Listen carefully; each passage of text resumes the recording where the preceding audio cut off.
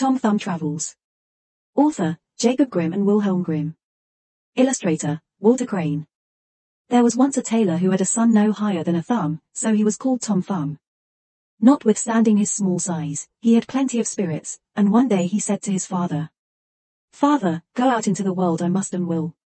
Very well, my son, said the old man, and taking a long darning needle, he put a knob of sealing wax on the end, saying, Here is a sword to take with you on your journey.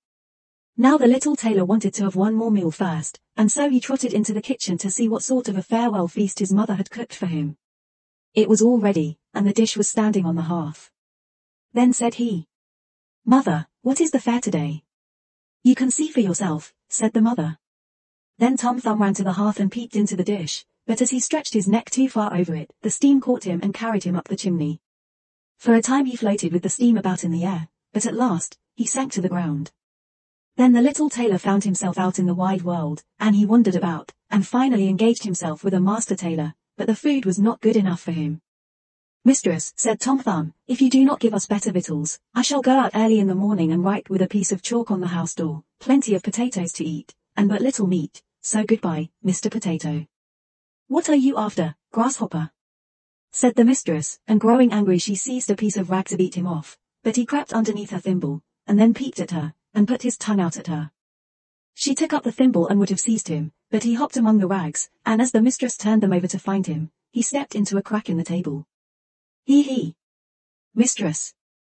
Cried he, sticking out his head, and when she was just going to grasp him, he jumped into the table drawer. But in the end, she caught him and drove him out of the house. So he wandered on until he came to a great wood, and there he met a gang of robbers that were going to rob the king's treasury. When they saw the little tailor, they thought to themselves. Such a little fellow might easily creep through a keyhole, and serve instead of a picklock. Hollow! Cried one, you giant Goliath, will you come with us to the treasure chamber? You can slip in, and then throw us out the money. Tom Thumb considered a little, but at last, he consented and went with them to the treasure chamber. Then he looked all over the doors above and below, but there was no crack to be seen. At last, he found one broad enough to let him pass, and he was getting through when one of the sentinels that stood before the door saw him and said to the other. See what an ugly spider is crawling there. I will put an end to him. Let the poor creature alone, said the other, it has done you no harm. So Tom Thumb got safely through the crack into the treasure chamber, and he opened the window beneath which the thieves were standing, and he threw them out one dollar after another.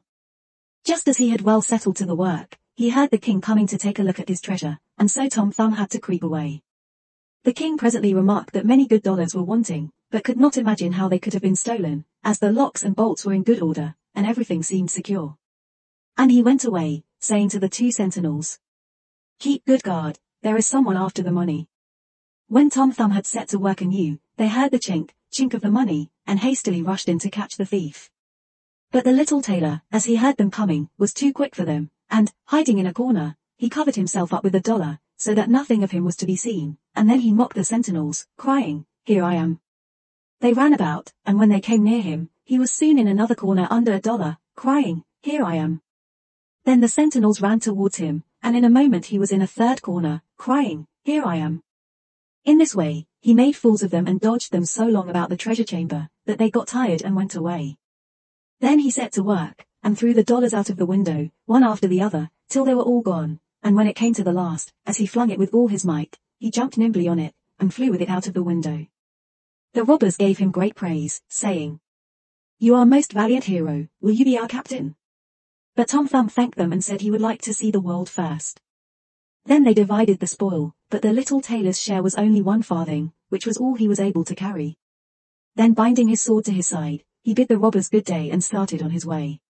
He applied to several master tailors, but they would not have anything to do with him, and at last, he hired himself as an indoor servant at an inn.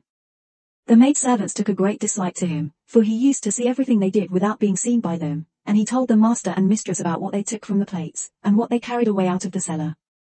And they said, wait for a little, we will pay you out, and took counsel together to play him some mischievous trick. Once when one of the maids was mowing the grass in the garden she saw Tom Thumb jumping about and creeping among the cabbages, and she mowed him with the grass, tied all together in a bundle, and threw it to the cows. Among the cows was a big black one, who swallowed him down, without doing him any harm. But he did not like his lodging, it was so dark, and there was no candle to be had. When a cow was being milked, he cried out. Strip, strap, stroll, will the pail soon be full? But he was not understood because of the noise of the milk. Presently the landlord came into the stable and said, Tomorrow this cow is to be slaughtered. At that Tom Thumb felt very terrified, and with his shrillest voice he cried. Let me out first, I am sitting inside here. The master heard him quite plainly, but could not tell where the voice came from. Where are you? asked he. Inside the black one, answered Tom Thumb, but the master, not understanding the meaning of it all, went away. The next morning the cow was slaughtered. Happily, in all the cutting and slashing he escaped all harm, and he slipped among the sausage meat. When the butcher came near to set to work, he cried with all his might. Don't cut so deep, don't cut so deep, I am underneath. But for the sound of the butcher's knife, his voice was not heard. Now, poor Tom Thumb was in great straits, and he had to jump nimbly out of the way of the knife, and finally, he came through with a whole skin. But he could not get quite away, and he had to let himself remain with the lumps of fat to be put in a black pudding. His quarters were rather narrow, and he had to be hung up in the chimney in the smoke and remain there a very long while. At last, when winter came he was taken down, for the black pudding was to be set before a guest. And when the landlady cut the black pudding in slices, he had to take great care not to lift his head too much, or it might be shaved off at the neck. At last, he saw his opportunity, took courage, and jumped out. But as things had gone so badly with him in that house, Tom Thumb did not mean to stay there but betook himself again to his wanderings. His freedom, however, did not last long. In the open fields there came a fox who snapped him up without thinking. Oh, Mr. Fox, cries Tom Thumb, here I am sticking in your throat, let me out again. Very well, answered the fox. It is true you are no better than nothing, promise me the hens in your father's yard, then I will let you go. With all my heart, answered Tom Thumb, you shall have them all, I promise you. Then the fox let him go, and he ran home. When the father saw his dear little son again, he gave the fox willingly all the hens that he had. And look, besides, what a fine piece of money I've got for you said Tom Thumb, and handed over the farthing which he had earned in his wanderings. But how, you ask, could they let the fox devour all the poor chicks? Why, you silly child, you know that your father would rather have you than the hens in his yard. The end. Goodbye.